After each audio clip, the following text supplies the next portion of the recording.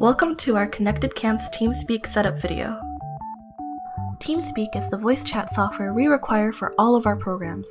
It makes communication fast and easy. In this video, we will show you how to set up TeamSpeak, connect to the Connected Camps voice server, and activate push-to-talk. We'll also introduce you to our server etiquette rules and guidelines. Let's jump right in! Downloading TeamSpeak is pretty easy. All you have to do is head over to teamspeak.com and click on the big green free download button. Then click on the Download Now button in the center of your screen.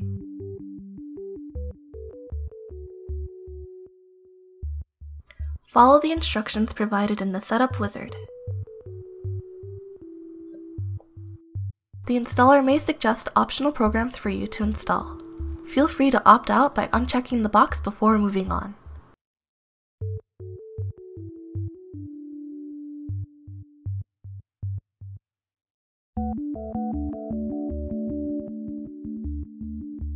Follow the instructions provided in the Setup Wizard.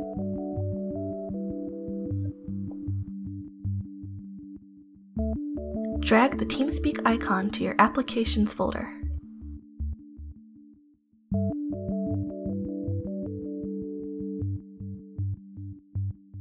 Once you have TeamSpeak installed, launch the application. Once the application is open, look for the Connections tab in the top left corner. And in the drop-down menu, click Connect. Enter the server address, and underneath it, enter your Minecraft username. Last but not least, you enter the server password. This will be emailed to you whenever you sign up for Camps or Labs, so it's okay if you don't know it right now. Click Connect, and now you're in the Connected Camps TeamSpeak server. Next, we need to set up push to talk, and here's why it's important. With push to talk, Hello everybody, are you ready for another day at camp?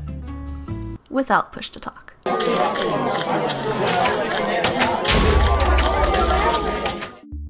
Without push to talk, your mic stays open and records every noise from you and the room around you, and too much noise makes communication nearly impossible.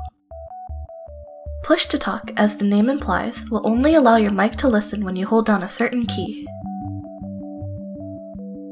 To set up push to talk on Windows, go to Tools, Options, and then Capture. Select Push to Talk and choose which key you want to use.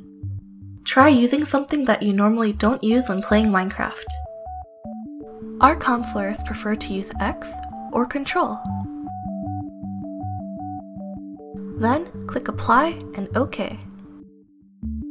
Doing this on a Mac is a little bit different. Move your mouse to the top left corner of your screen where it says TeamSpeak 3.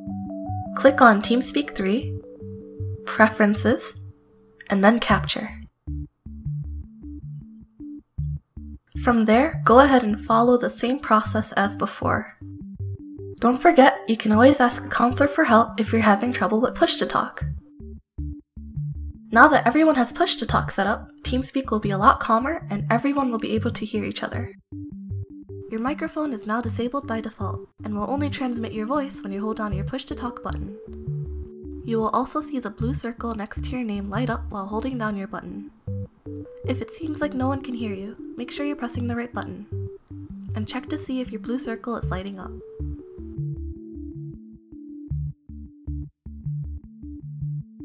To make sure we all get a chance to speak, we have a few TeamSpeak guidelines. Use headphones to avoid causing an echo. Always be respectful of other speakers. Be polite and try not to interrupt others while they're talking. Avoid shouting or singing into your mic. If a counselor is speaking or holding a lesson, be sure to give them your full attention. And remember, community guidelines apply to TeamSpeak chat too.